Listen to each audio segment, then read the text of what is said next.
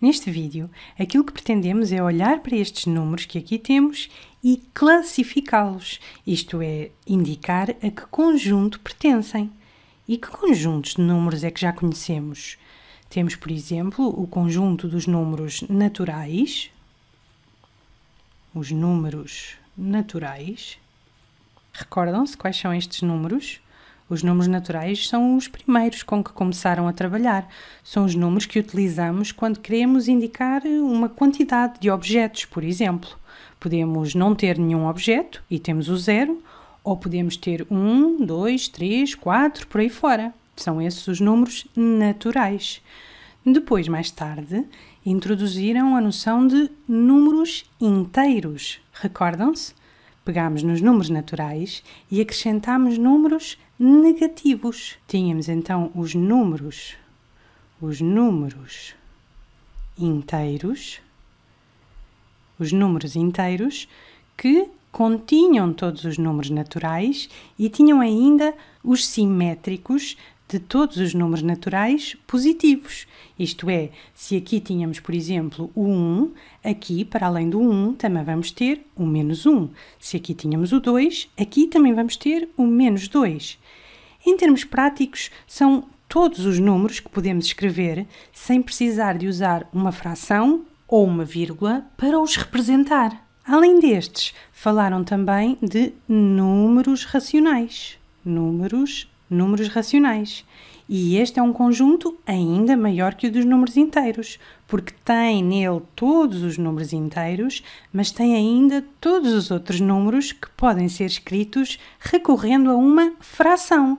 Porquê racionais? Porque uma fração, no fundo, é uma razão entre dois números. Se conseguirmos escrever um número na forma de uma fração com um denominador inteiro e um numerador inteiro, então temos um número racional. Estes números podem também ser escritos recorrendo a vírgulas, e nesse caso, ou tem um número de casas decimais finito, ou se o número de casas decimais for infinito, então terá de ser uma dízima infinita periódica. Isto é, teremos de encontrar um algarismo ou um conjunto de algarismos que a partir de um dado momento se repete infinitamente. Além disso, cada um destes conjuntos de números tem um símbolo próprio. Recordam-se desses símbolos?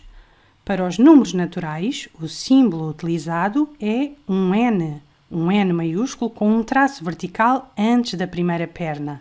Para os números inteiros, o símbolo utilizado é um Z maiúsculo, também aqui com um traço adicional. E para os números racionais, utilizamos o símbolo Q, um Q maiúsculo, aqui com um traço adicional também. Então agora vamos olhar para cada um destes números e tentar perceber a qual destes conjuntos pertence. Vamos então olhar aqui para o 3. Ora, o 3 é um número a que poderíamos recorrer para indicar uma quantidade de objetos, por exemplo. Eu tenho 3 canetas, por exemplo. Então o 3 vai pertencer ao conjunto dos números naturais. Mas o 3, para além de ser um número que eu posso usar para designar uma quantidade de objetos, também é um número que conseguimos representar sem recorrer a uma fração ou uma vírgula. Então o 3 também é um número inteiro. Então o 3 também pertence aos números inteiros. Isto porquê? Porque, tal como dissemos anteriormente, todos os números naturais pertencem ao conjunto dos números inteiros. O que estamos a dizer é que os números naturais estão contidos no conjunto dos números inteiros. Além disso, também posso escrever 3, por exemplo, como sendo 3 sobre 1. E nesse caso também consigo representar o 3 na forma de uma fração, o que me diz que também o 3 é um número racional. O que faz sentido, porque dissemos que todos os números inteiros estão contidos no conjunto dos números racionais. O que é que estamos a dizer? Estamos a dizer que o conjunto dos números inteiros está contido no conjunto dos números racionais. E, portanto, se o 3 é um número natural, então o 3 também é um número inteiro e o 3 também é um número racional. Vamos agora olhar para o menos 5. Temos aqui o menos 5. Ora, o menos 5 eu posso escrevê-lo como menos 5 sobre 1. E se posso representar este número na forma de uma fração, então o menos 5 é um número racional. Mas também o posso representar como está aqui, sem recurso a uma fração e sem recurso a uma vírgula. Portanto, o menos 5 é um número inteiro. E será que posso avançar também para aqui? Será um número natural? Não, porque neste caso já estamos a falar de um número negativo. Portanto, vou arrumar aqui o menos 5. Menos 5 é um número inteiro e é um número racional, mas já não é um número natural e, portanto, fica fora deste conjunto. Agora temos 0,25, 25 centésimas. Ora, aqui temos um número que é positivo, mas precisamos de uma vírgula para o escrever e temos um número finito de casas decimais.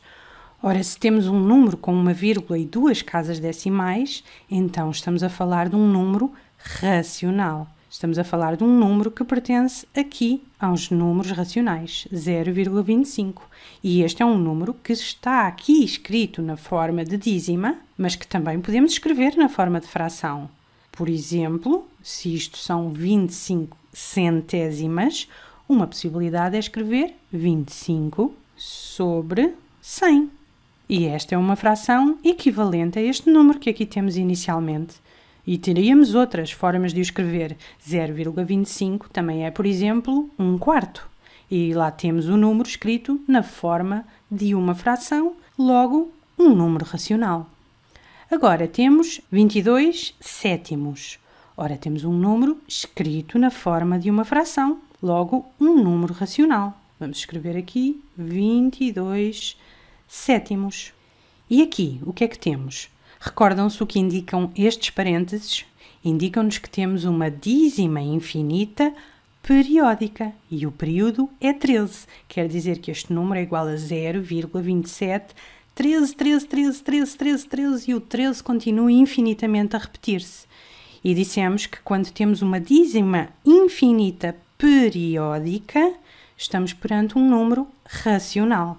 Então vou arrumar aqui o 0,2713. Por último, temos o número 14 sétimos. Ora, temos um número na forma de uma fração, logo um número racional. Vou arrumá-lo aqui, 14 sétimos. Mas o que significa este traço de fração? Este traço de fração também nos pode indicar uma divisão entre o numerador e o denominador. Ora, se isto nos indica uma divisão, quanto é 14 a dividir por 7? 14 a dividir por 7 são 2. Ora, se 14 a dividir por 7 são 2, onde é que iríamos arrumar o 2 aqui neste nosso diagrama? Ora, o 2 é um número que não precisa de vírgula nem de fração para ser representado e é um número positivo é um número que poderíamos usar para indicar uma quantidade. Logo, o 2 é um número natural e, portanto, temos de ter cuidado com algumas frações que nos são apresentadas, porque na realidade o que aqui temos é um número natural disfarçado de fração. Então vamos apagar daqui o 14 sétimos, porque, ainda que seja verdade que se trata de um número racional, é aqui que o temos de escrever. 14 sétimos é um número natural, porque 14 sétimos é uma representação possível do número 2. E 2 é um número natural. Mas não se esqueçam, dissemos que os números naturais estão contidos nos números inteiros. Logo, 14 sétimos também é um número inteiro. E dissemos também que os números inteiros estão contidos nos números racionais. Logo, 14 sétimos também é um número racional. Foi por isso que desenhamos este diagrama, incluindo dentro dos números racionais todos os números inteiros, que por sua vez também contém todos os números naturais. Qualquer número que pertença a um dos conjuntos menores terá necessariamente de pertencer também aos conjuntos onde o menor esteja contido. Todos os números que pertencem a este conjunto estão dentro deste e, portanto, também pertencem a este. Todos os números que estão dentro deste conjunto, que são inteiros, estão também dentro deste conjunto e, portanto, são também racionais. E agora, só para aguçar a curiosidade, Será que existem outros conjuntos ainda maiores do que os números racionais? Será que também os números racionais vão estar contidos noutros conjuntos ainda maiores? Vou-vos já dizer que sim, vão, mas isso fica para mais tarde.